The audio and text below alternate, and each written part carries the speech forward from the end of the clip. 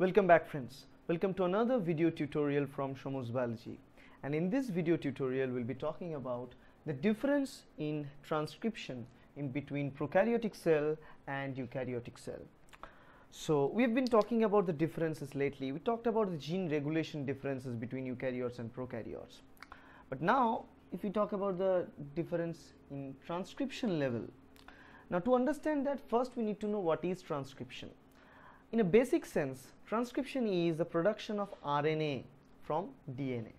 So we have the double-stranded DNA which carry all the informations to make proteins and do all the functional stuff in the cell. Now DNA cannot work by going everywhere because you know you need to, to work properly you need to produce proteins which will give us the visibility or the effect phenotypic effects mainly. So in this case what DNA can do DNA produces mRNA. mRNA can go and mRNA can be easy to handle inside the cell because DNA gets the information and DNA sit at a specific point in the cell. It produces mRNA who acts as a messenger. So we call it messenger RNA as well or mRNA. Now mRNA can be translated into protein products.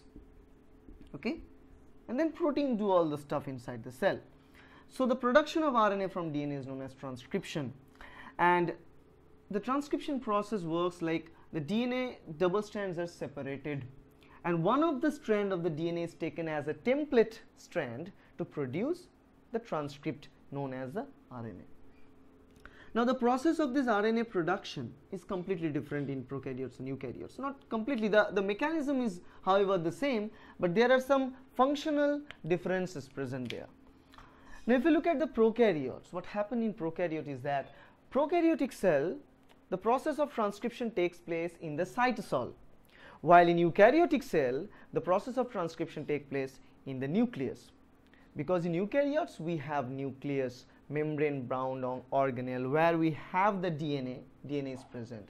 DNA replication take place in the nucleus, transcription take place in the nucleus, RNA modification takes place in the nucleus. While in prokaryotes there is no nucleus, so all the process I have been telling you about, all this other process we discussed none of them work in nucleus. So everything works in the cytosol itself. So there is no organelle no complexity just the genetic material dna is floating in the cytosol so transcription in the cytosol and translation also in the cytosol. So this is the first difference the second difference is how the transcription is done and, and what are the degree of transcription and uh, the limit of the transcription process. In prokaryotes there is only simple stage that there is a DNA it will be transcribed RNA will be made and that RNA which is prepared is fully functional. And they can be translated into proteins then and there. But in eukaryotes if you look the RNA they produce inside the nucleus the first RNA that is generated from DNA after transcription is known as premature mRNA now that premature RNA is not properly made. The premature mRNA do not have the capability of making proteins then and there. Now the premature mRNA should be matured, should be modified. How we modify that? There are several different modification stages because you know this DNA portion, this RNA of eukaryotes carries so many junk element in the RNA segment. Junk element means if I draw it here, I hope it will be better to draw here. There are two types of segments found. These blue segments and the red segments.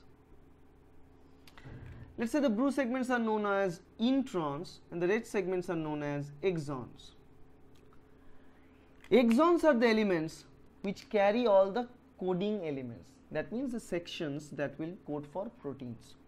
While these intron elements do not contain any coding genes in there so they cannot produce any protein. So they are junk in that sense because we need the production of proteins.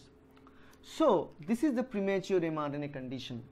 So prior to the protein synthesis we need to cleave these exons out from the introns and we need to join the exons together and this exon which is completely now filled with coding elements can be synthesized into proteins. This is the idea in eukaryotes. This is known as splicing. The splicing event take place inside the nucleus. There are also several modifications. In the 5 prime range, in the 5 prime position of the mRNA, there is a capping known as 5 prime capping, addition of a guanosine residue invertedly.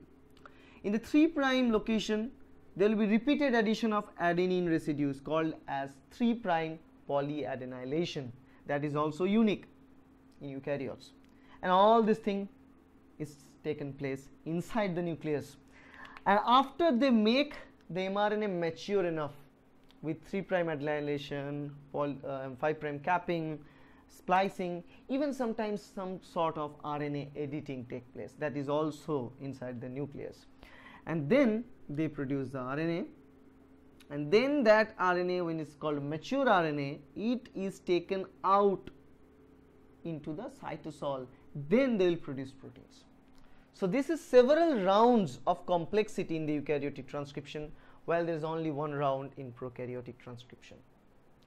Third important difference, the process of transcription and protein synthesis that is translation is kind of coupled together in prokaryotes. So they are known as transcription coupled translation or transcription coupled protein synthesis. Because you know in prokaryotes they need to divide their cells so much rapidly they don't have the time to first produce the RNA first and then take the RNA and make proteins out of it. In this case, the best way they can go is that to save some time, a long time when they are producing mRNA, they are keeping translating that mRNA. I'm going to show you how exactly it looks like.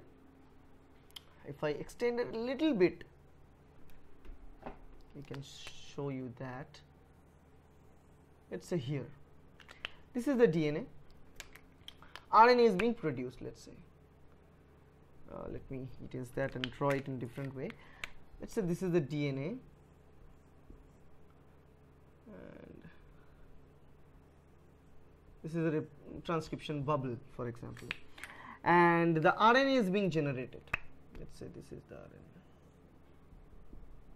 okay RNA is being generated. 5 prime at the end uh, 3 prime at this side okay?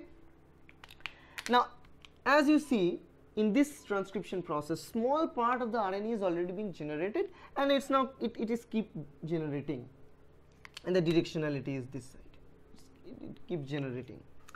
Now the part which is already generated ribosome already sit on it. And they start translating proteins okay they start making polypeptide chains along with when the transcription is going on, it's not complete yet, the transcription is going, processing, uh, ribosomes also sit there in the mRNA, newly formed mRNA, which is not at all completely formed, and they start trans translating it. So, transcription and translation carried out almost at the same time simultaneously. Transcription coupled protein synthesis. This thing is a unique feature of prokaryotes which you will not find in eukaryotes. In eukaryotes, you have to first make the RNA, you need to do the splicing, process it, add all these groups modifications, take them out in the cytosol, then protein synthesis. Now the fourth difference in transcription level, in prokaryotes, the RNA polymerase is the enzyme that produces the RNA from the DNA. In eukaryotes also RNA polymerase is the enzyme who convert the DNA into RNA. But in prokaryotes, the RNA polymerase prokaryotes use, it's much more versatile. All the type of RNA that is found in prokaryotes, mainly three types, rRNA, mRNA and tRNA. Three types of RNA is being produced by only one enzyme that is RNA polymerase. Single RNA polymerase have the capability of producing mRNA, rRNA, tRNA. But in case of eukaryotes, they have allotted three separate RNA polymerases to make three separate RNAs. RNA polymerase 1 produces rRNA, polymerase 2 produces mRNA, polymerase 3 produces tRNA. Okay? Versatility. But in prokaryotes, one single RNA polymerase make everything there. Another thing which I also mentioned in the expression uh, difference class, this is the fifth difference we are talking about. During the, during the transcription process and, and the process of transcription when the RNA is produced, the transcript which should be translated into proteins, that transcript is polycistronic in prokaryotes and this is monocistronic in eukaryotes. Now what do we mean by that? If we look at here, in prokaryotes, multiple genes are regulated by only one promoter. So once we do the translation, we'll produce multiple proteins in chains through only one promoter. This is known as polycistronic because multiple genes are placed together under a single promoter. In eukaryote, a single gene is placed under a single promoter. So this is mono means single cistronic expression. That is another difference between eukaryotic and prokaryotic transcription. Now if you want to find, you'll find 15, 20 differences, but these are the major differences guys. Okay, and when you're answering any differences and questions, don't try to find as many as you can. Think of the major differences. I can extend each of those differences in two or three different lines about it. So you can make 15, 20 different types of differences only from this five that we talked about. We can extend that. But it's nothing uh, to extend that, right? Because for example, say I can say that uh, the, the, the for each enzyme, let's say uh, prokaryotic transcription, we have a specific uh, factors for the transcription process, uh, transcription factors if we need them or not. In eukaryotes, we need a lot of transcription factors inside. In prokaryotes, we don't need that much of transcription factors. We need only the RNA polymerase who have the sigma factor. With the help of that, they recognize the start point, the promoter area, and then start producing the RNA.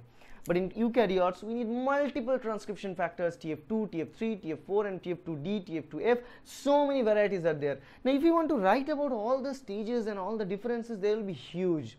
But I'm going to talk about those ones which are really important to think of and really distinguish between prokaryote and eukaryotic cells.